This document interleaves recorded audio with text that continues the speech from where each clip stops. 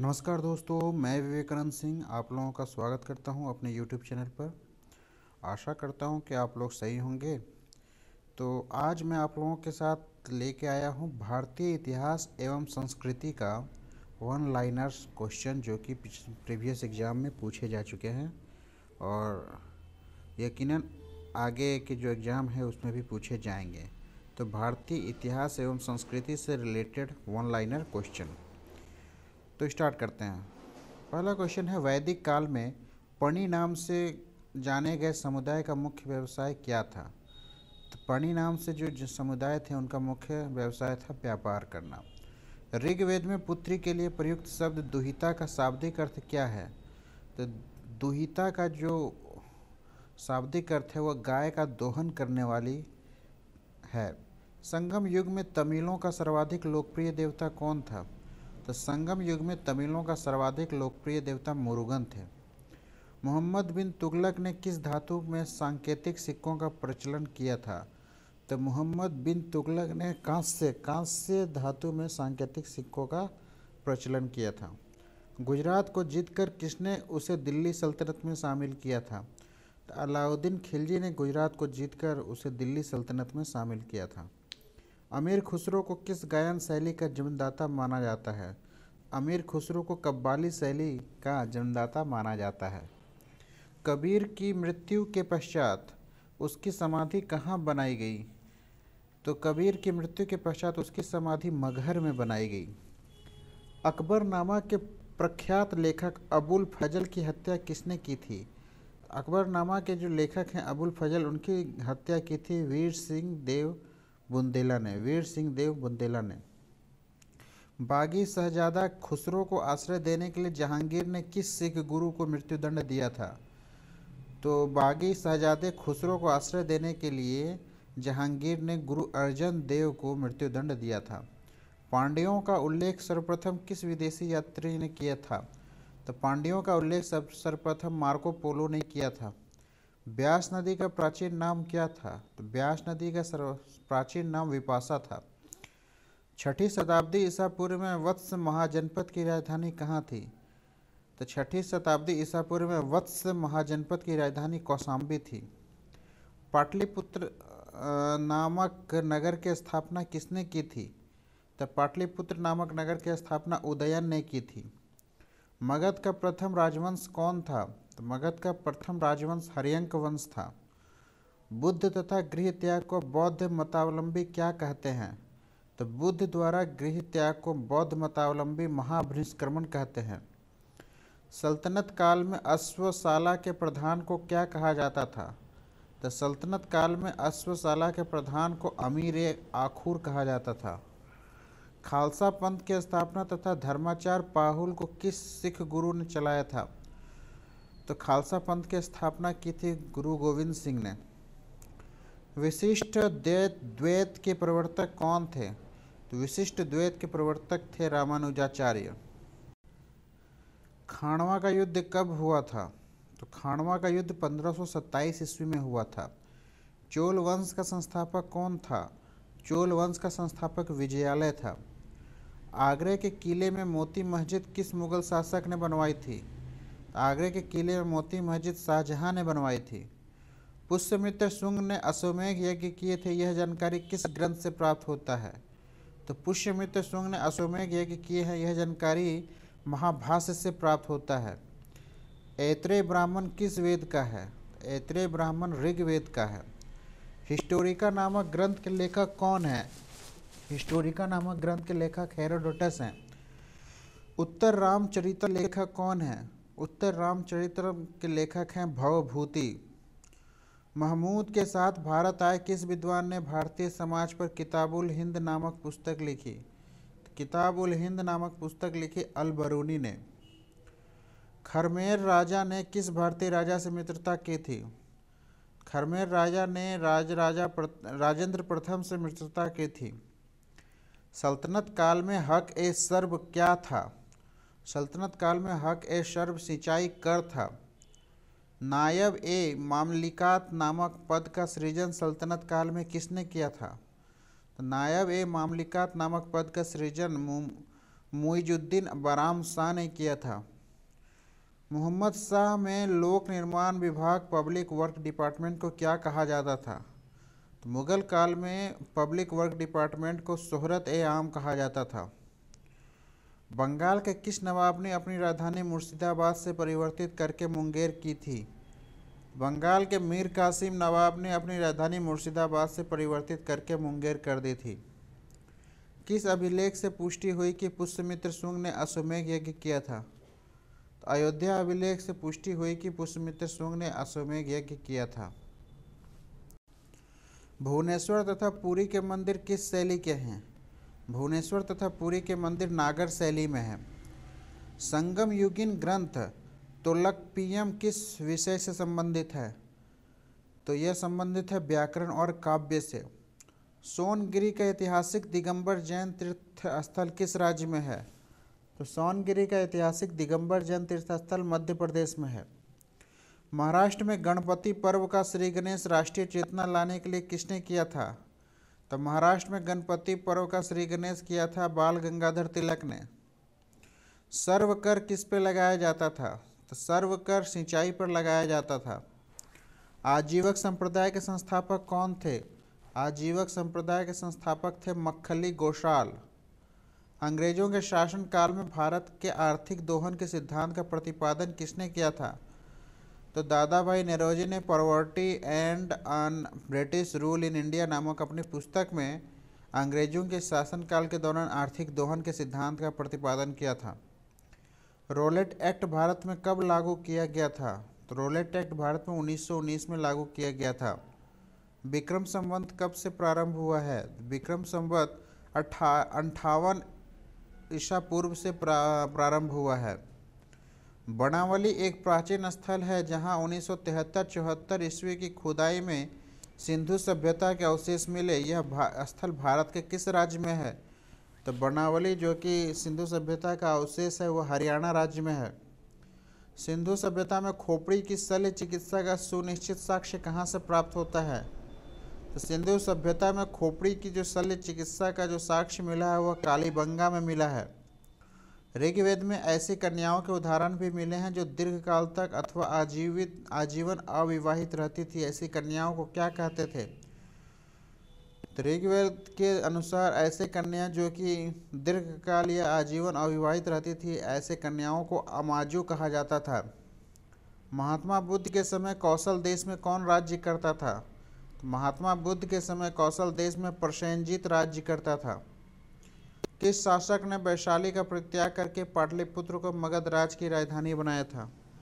तो कालाशोक ने वैशाली का परित्याग करके पाटलिपुत्र को मगध राज की राजधानी बनाया था। अशोक के किस शिलालेख में कलिंग युद्ध का वर्णन है? अशोक के तेरहवें शिलालेख में कलिंग युद्ध का वर्णन है।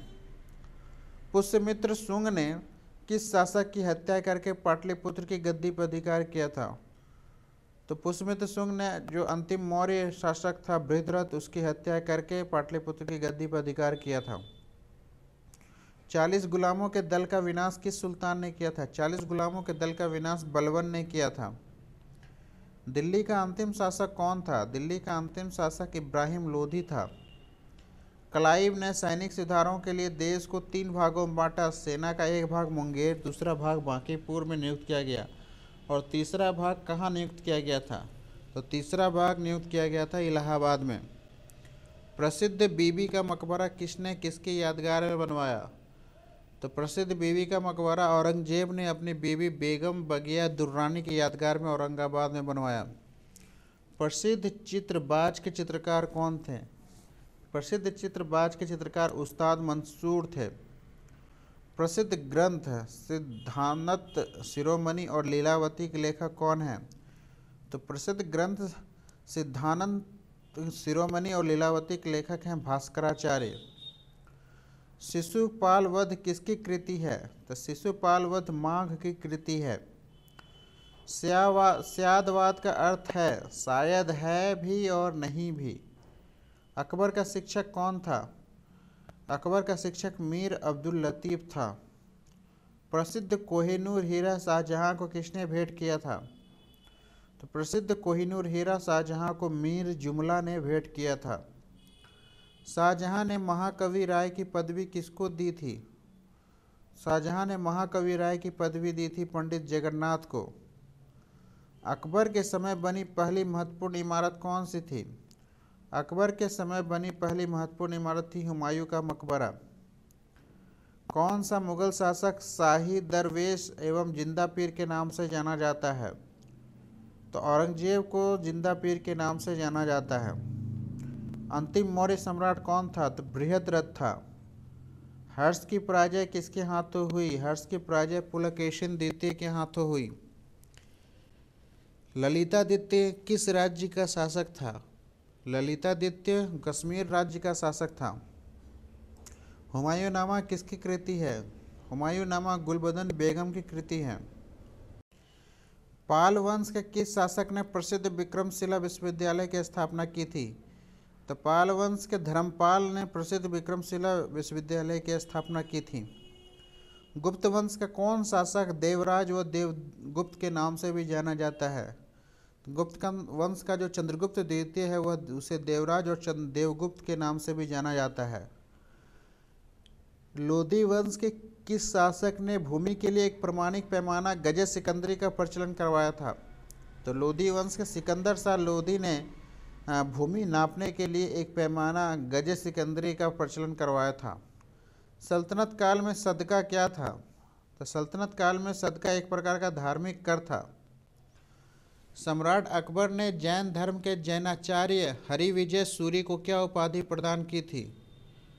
तो सम्राट अकबर ने जैन धर्म के जैनाचार्य हरिविजय सूरी को जगत गुरु की उपाधि प्रदान की थी। उस्ताद मंसूर तथा अबुल हसन किस मुग़ल शासक के श्रेष्ठ कलाकारी से थे? उस्ताद मंसूर तथा अबुल हसन जहांगीर के श्रेष्ठ कलाकारी में से थे।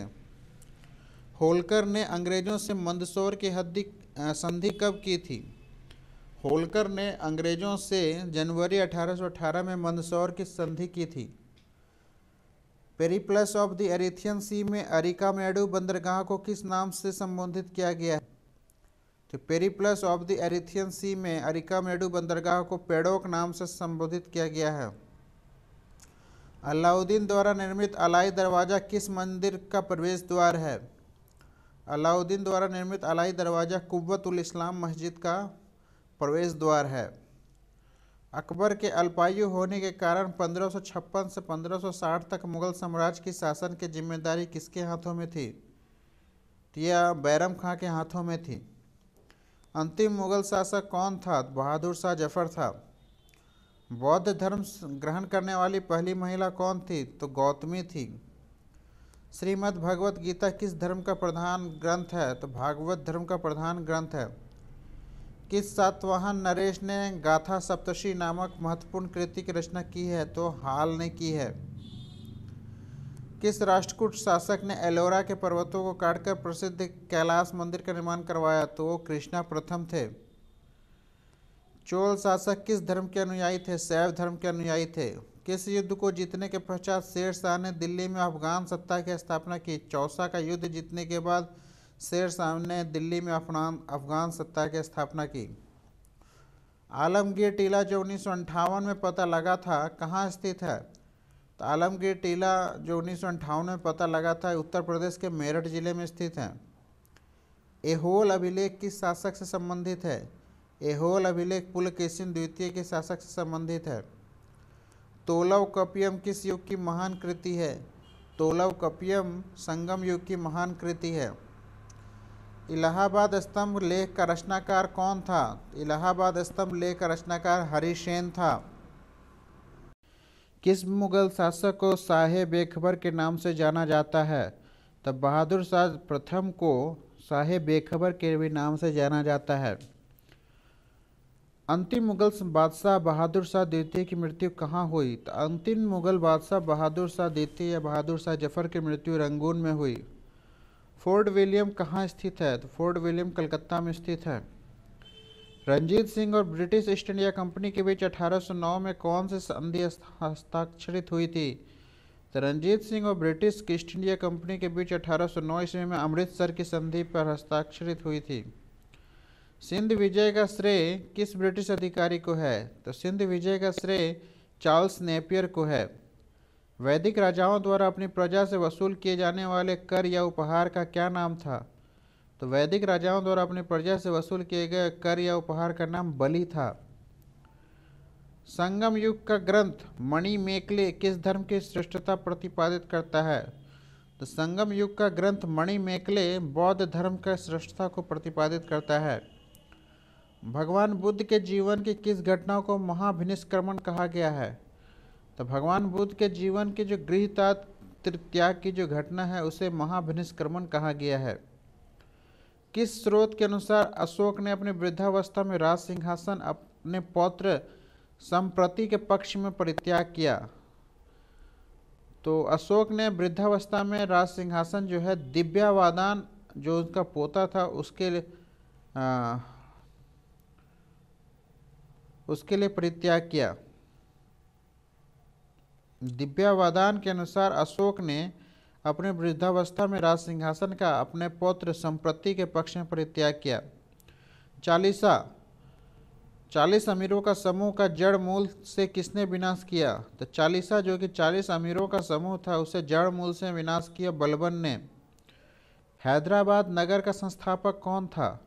हैदराबाद नगर का संस्थापक मोहम्मद अली कुतुब शाह था। चाँद बेबी का विवाह किस राज्य के सुल्तान के साथ हुआ था? तो चाँद बेबी का विवाह बिहापुर का अली आदिल शाह के साथ हुआ था। तो हमारा यह सार संग्रह है और यह मैं सीरीज़ इसका लेके आने वाला हूँ। तो हमारा आज का इतना ही वीडियो समाप्त होता है, क्योंकि ज़्यादा लंबा वीडियो नहीं करना है छोटा छोटा वीडियो मैं आप लोगों के सामने लाता रहूँगा। तो आशा करता हूँ कि आप लोगों को हमारा यह प्रयास अच्छा लग रहा होगा। यदि आपको यह वीडियो अच्छा लगे तो इसे लाइक कीजिए, हमारे चैनल को सब्सक्राइब कीजिए और हो सके तो इस वीडियो को शेयर कीजिए अपने ग्रुप में। धन्यवाद।